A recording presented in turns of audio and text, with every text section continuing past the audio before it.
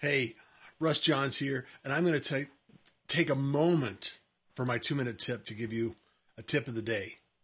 And what I want to share with you is golden for those that are trying to stay on task, stay on track, and avoid the headaches of missing things on their calendar. So stick with me and I'll share that tip. So, first, kindness is cool, smiles are free.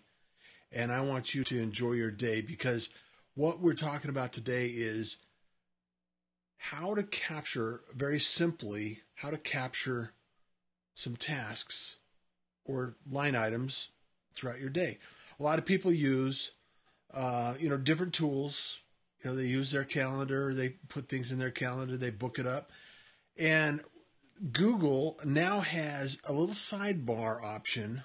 If you haven't noticed this, and I'll do a little tutorial on this and share it with you. Uh, but Google has a little sidebar option that you can actually open it up and click on it and just write your tasks out. It's super simple.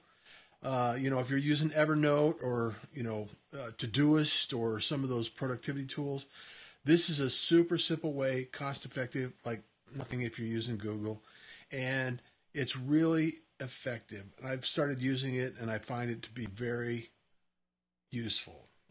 So I wanted to share that tip with you. It's working for me. I hope it works for you as well. I also have a favor to ask. I wanted to ask you if there's anything that you're challenged by recently that I could offer assistance. Some people have asked me for two minute tips. I've been sharing a couple of things. And I just wanted to ask you what are you struggling with? What challenges in technology are you thinking that I might be able to answer your question? Send me your questions. I would love to help you answer answer you know your challenges and get things out.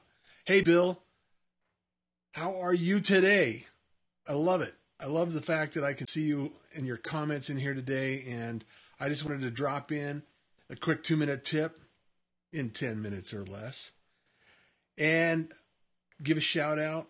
Um, somebody mentioned today that they hadn't seen me for a while, and it's like I've been around. I just been a little busy, so I just wanted to drop a little tip, share the love, and let you know that I'm here, and I want to extend the invitation to connect with you today. So I'm Russ Johns, and you enjoy your day.